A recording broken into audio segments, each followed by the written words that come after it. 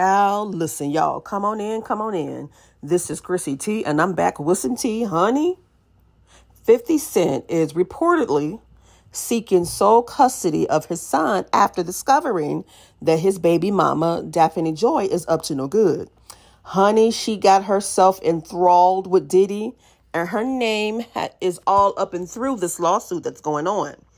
So, Daphne is accused of being one of Diddy's uh, intimate madams, if you know what I'm saying, along with two other women.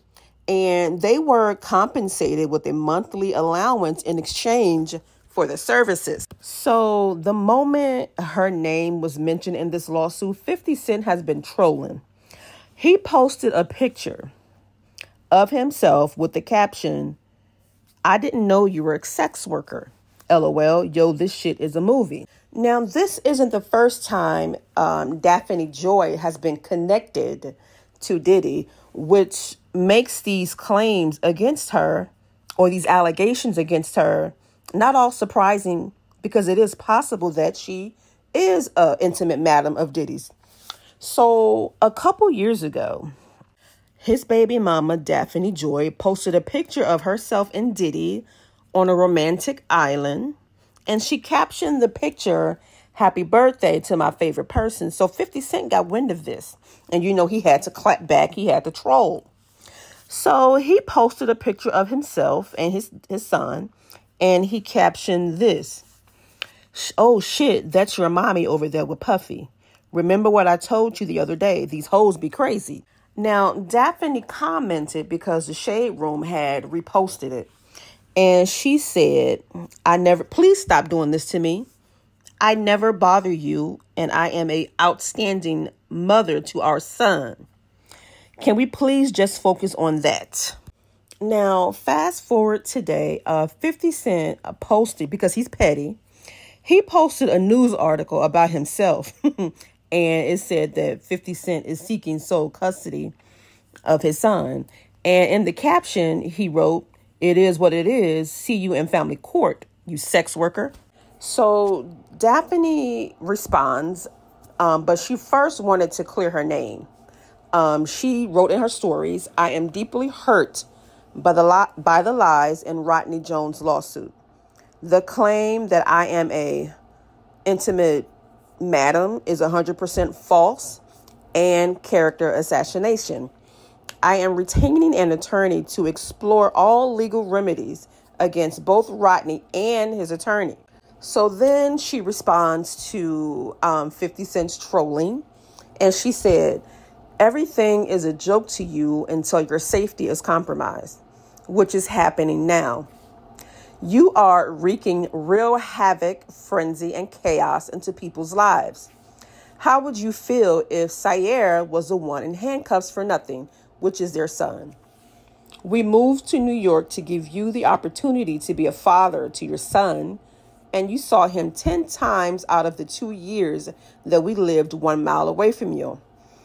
I am tired of upholding an I am tired of upholding and protecting an image to our son that you have never even earned. Let's put the real focus on your true evil actions of graping me and physically abusing me. You are no longer my oppressor, and my God will handle you from this point on. You have permanently damaged the last hope I had for you as a father to preserve our family with these last and final false claims made against me. You have broken our hearts for the last and final time. And of course, 50 Cent in pure fashion had to clap back. He said, You moved a mile away in hopes of having another baby with me, but I was busy. So you moved back and then you started receiving money from Brother Love, aka Diddy. Now here we are, little sex worker. Damn. But it doesn't stop here because 50 Cent has been trolling Stevie J because Stevie J, his name is also in the lawsuit. And Stevie J had to clap back and he threatened to put the paws on 50 Cent. So 50 started trolling Stevie J. He posted the allegations of the Lil Rod lawsuit, and the document stated that Diddy would use videos of Stevie J being intimate with men, and he used that video in order to groom other men to do the same. And Stevie J got pissed, honey, and he went online and he threatened 50. And here is what he said You and your feelings about Daphne? Because she would gang them? Or is it that you sucking little Rod dick? However it go, I want you to fade, nigga. Fuck all that. Since it's entertainment, let me beat the shit out of you on TV or something. Don't duck that. I'm calling you out. What you want to do, Curtis? Curtis! What's good, man? You and your feelings about Daphne? Cause she would. So let's circle back to the DV allegations made by Daphne. Um, 50 Cent has a history of DV, and yes, it is possible that he really did beat the shit out of Daphne, um, his second baby mama, because his first baby mama said the same thing. She said that he was abusive, and she alleged, if I'm not mistaken, correct me if I'm wrong, her house caught, caught on fire, and I think she said it was him. I don't know. Um, not only that, he was dating a stripper by the name of Tatted Up Holly. So he got wind that she started dating a ASAP Rocky, and of course, in pure fashion, he gets jealous and angry. So he takes to Instagram and he posted a picture of her with the caption basically saying that she's community puss. So once she got wind of what she did, what he said, she threatened to leak uh, text messages exposing him of abuse. So after she said that, I'll be damned if not a minute later, that post about her was gone. 50 wasted no time removing that post. So you have three women that said that he has done these things, so it's likely to be true.